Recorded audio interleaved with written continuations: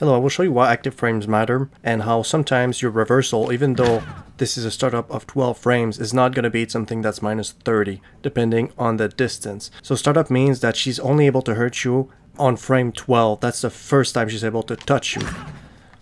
But frame 12 is in place. It's right here, right? Not all the way over here when she lands. That's not frame 12 anymore. That becomes, well, we have to see what's the active frame. Active frame 9, that's the maximum active frame.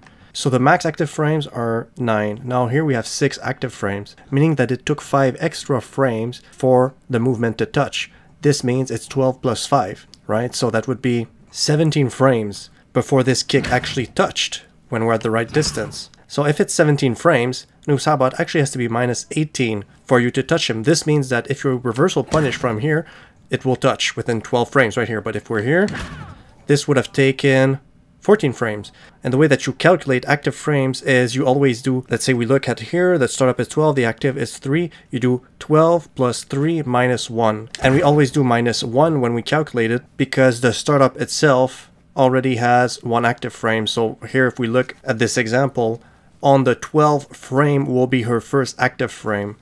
So she will hit within 12 frames. If we calculate this, startup is 12 and it touches on the first active frame. But if we're here, 3, right?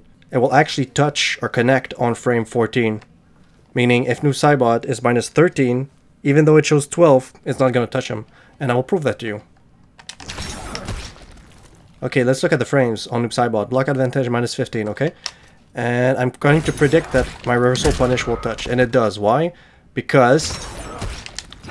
Okay, active frame 2, startup 12. So it actually connected on frame 13.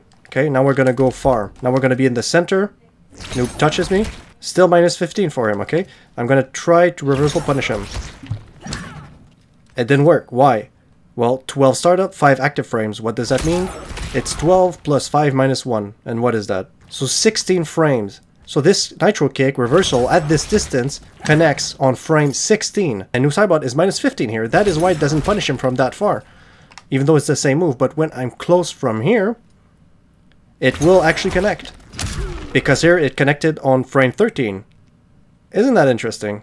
And the speed of the move matters, right? The more active frames, the slower the movement is going to be. And that speed is calculated based on the frames. So I'm going to try it out with Cassie Cage reversal. We know that Cassie Cage's reversal is still 12 frames, but she has less active frames because it's just faster. The movement is faster and I'll show you. So the startup is 12, okay?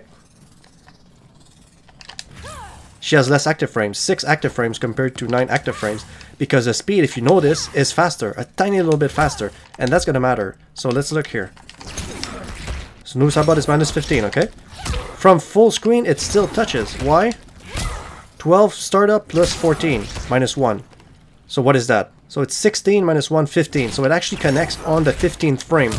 So this means that either Cassie Cage should touch him or Noob Saibot should block. So sometimes with NRS, when it's zero, because that's what it's at right now, sometimes the moves connect, sometimes they don't, but in this instance, it does connect. Isn't that interesting? So that's why Cassie's reversal at 12 frames actually connects, while Jade's reversal at 12 frames does not connect because the move connects with Cassie Cage at one less active frame than Jade. Jade connects on the 16th frame while Noob is minus 15, while Cassie Cage connects on the 15th frame while Noob is minus 15. So it's like supposed to be neutrals. No one has an advantage, so the game I guess just picks one. And that's why in this case, Cassie Cage always punishes Noob Saibot from that distance. So that's how active frames work for you, and that's why sometimes reversals don't work well or don't work at all. Even though in theory the startup says that they should work, it's because the startup is not actually when the move connects. The startup is only real when you hit on the first active frame, like from here. There's no distance. This means that it took 12 frames to connect. So if we're here, still 12 frames to connect. Oh, now it took 13 frames to connect.